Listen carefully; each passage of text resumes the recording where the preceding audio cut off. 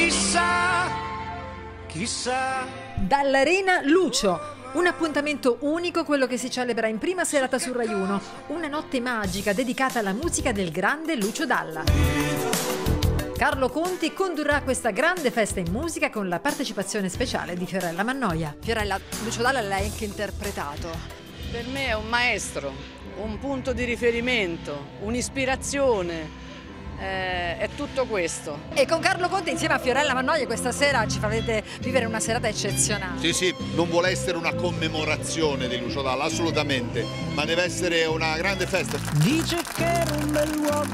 Tanti gli artisti che si esibiranno dall'Arena di Verona per celebrare il cantautore bolognese. Lucio Dalla al di là dell'artista oramai che gli vuoi dire insomma era uno che passava dal pop al jazz all'opera proprio veramente fuori da ogni, da ogni logica sorriso, non lo so, a me ogni volta che penso a Lucio Dalla mi viene, mi viene il sorriso naturale perché secondo me ha regalato delle grandi emozioni e ci ha raccontato con con grande sensibilità. La prima volta che abbiamo incontrato Lucio Dalla era nel 2012, eravamo, avevamo 17-18 anni e ci siamo messi a fare una, una gara di vocalizzi proprio qui, in quel camerino, in quel camerino lì.